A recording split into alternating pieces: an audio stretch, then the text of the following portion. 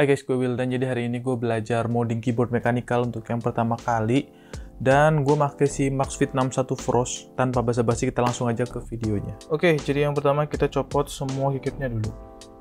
Nah, keycapnya udah dicopot semuanya. Kemudian kalau misalnya kalian bisa lihat, switch bawaannya memang e, karakternya tactile, jadi sedikit berisik.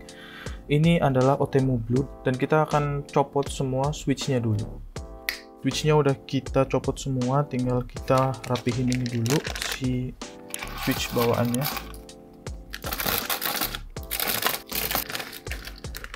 Dan simpan di tempat yang aman Oke, jadi kalau kalian lihat itu memang uh, ini udah pernah gue bongkar dan udah pernah gue pasang si pin 8 mode. Kalau kalian lihat di sini ada Hansa Plus di atas stabilizernya. Stabilizernya tuh ada udah ada loopnya, jadi ini udah pre loop, nggak usah di loop lagi dan gue nggak akan ngotak-ngatik stabilizernya. So kita akan buka platformnya. Ini ada 6 baut 1, 2, 3, 4, 5, 6.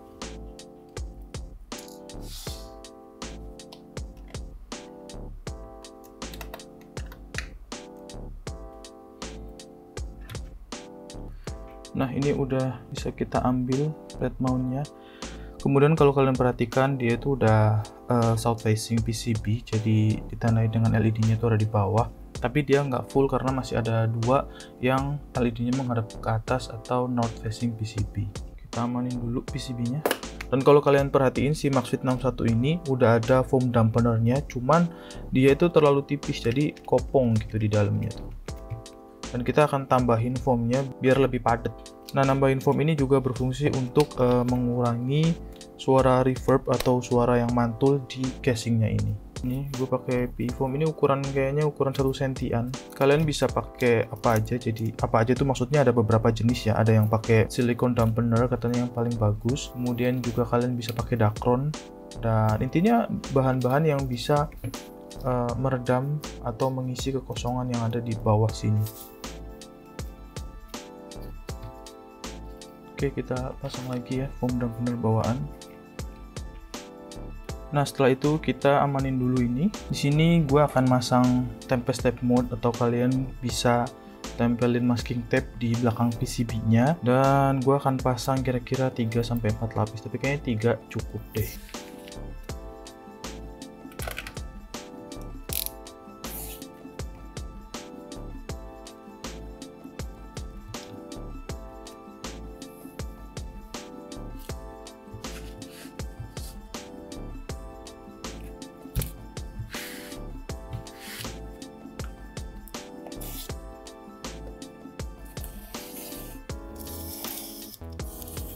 Jangan lupa dibolongin juga di bagian bautnya.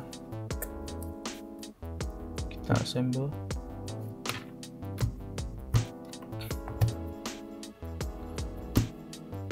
Udah PCB nya kita pasang kembali. Kemudian gua akan masang uh, PE foam tapi ini yang tipis. Ini kira-kira kayak setengah mili gitu sih. Dan jangan lupa potong sesuai dengan stabilizernya.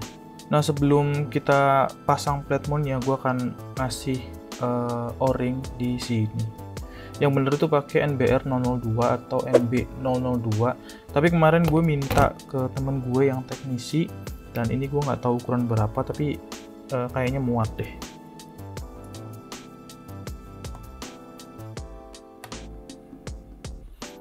Nah ini o-ringnya udah dipasang kemudian uh, perlu diketahui kita akan masang uh, PE foam ini di antara flat mount dan PCB dan ini akan menutupi LED uh, eh, efek lightingnya itu akan sedikit reduce. Kemudian kalian bisa lubangin bagian untuk switchnya.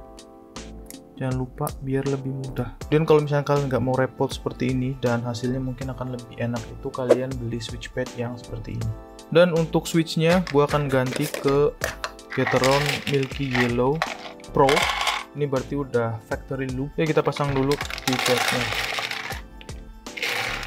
Eh keycapnya lagi. Switchnya. Dan nah switchnya udah kepasang semua. Tinggal kita cek dulu apakah ada yang bengkok atau tidak. Nah ini bengkok.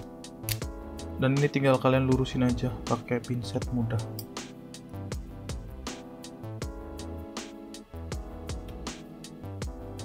Oke, sudah bisa. Oke, semuanya sudah beres. Tinggal kita pasang keycapnya. Ya, keyboardnya sudah selesai kita modding.